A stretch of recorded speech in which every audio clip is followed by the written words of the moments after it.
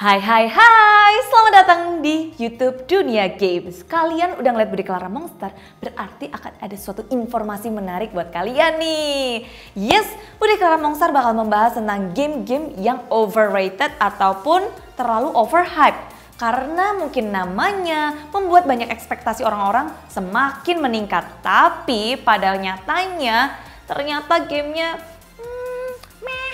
apa aja sih game-game yang masuk ke dalam list dari overhyped game? Langsung aja yuk kita bahas sekarang.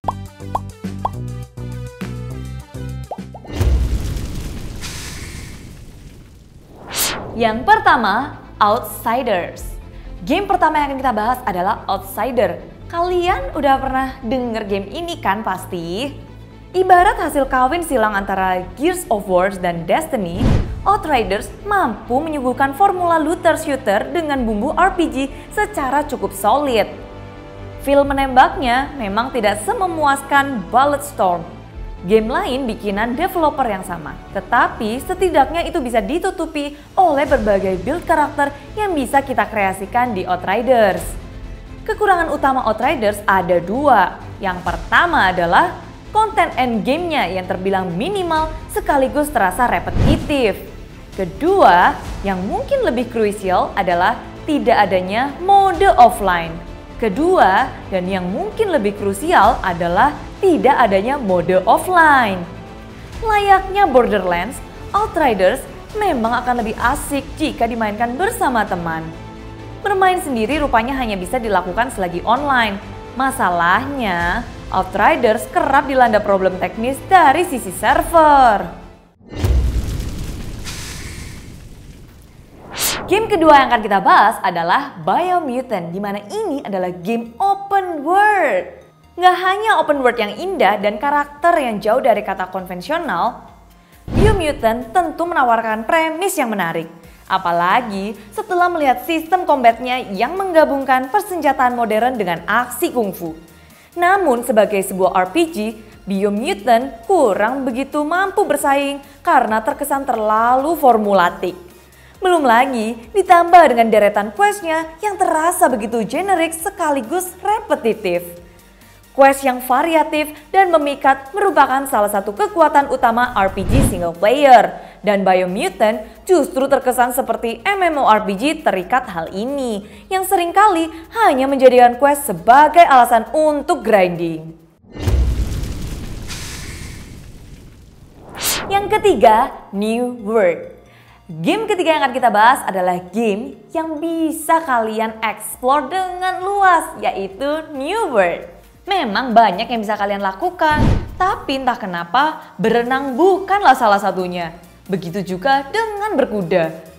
Bosan membasmi monster atau beradu otot melawan pemain lain, kamu bisa menghabiskan waktu berjam-jam memasak atau crafting di game ini. Memasak bahkan merupakan salah satu cara tercepat untuk leveling di New World. Namun bukan berarti semuanya menarik untuk dilakukan. Dan aspek PvE merupakan salah satu kelemahan utama New World. Namun bukan berarti semuanya menarik untuk dilakukan. Dan aspek PvE merupakan salah satu kelemahan utama New World. Demikian pula variasi quest yang tersedia.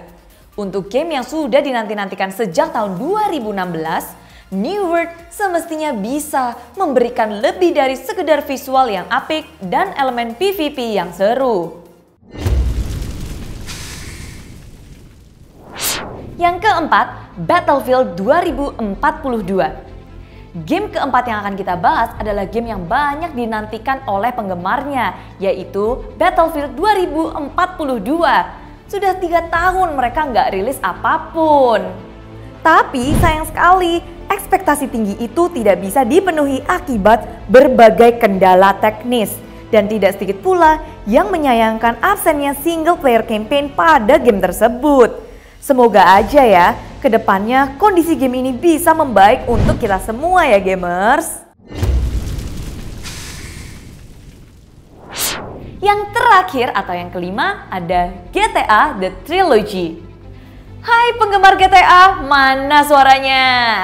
GTA memang punya banyak penggemarnya nih. Dirilis 20 tahun setelah Grand Theft Auto 3 pertama kali meluncur di PS2, GTA Trilogy Definitive Edition bisa dibilang adalah salah satu yang paling besar hype-nya tahun ini. Meskipun hanya merupakan sebuah remaster. Namun kenyataannya jauh lebih pahit dari yang dibayangkan. Sebab game ini dirilis dalam keadaan seperti belum rampung digarap. Kabar baiknya, game ini masih bisa diselamatkan seiring berjalannya waktu, mengingat sebagian besar problemnya cuma perkara teknis. Kalau secara konten, kualitas trilogi game legendaris ini tentu sudah tak perlu diragukan lagi. Itulah gamers, list-list dari game yang overhype di tahun 2021 ini. Tapi maklum ya, ini semua karena ekspektasi para penggemar yang begitu besar. Semoga ke depannya game-game ini bisa memperbaikinya. Dan Bude Clara Mongstar mengucapkan terima kasih buat kalian semua yang selalu support channel YouTube Dunia Gears di 2021 ini. Jangan berhenti di sini karena kita akan menyuguhkan banyak sekali konten-konten. Jadi jangan lupa untuk like, share, subscribe, dan komen di bawah game apa yang lagi kalian mainin nih. Kalau gitu, Bude Clara Mongstar pamit dulu. Dadah!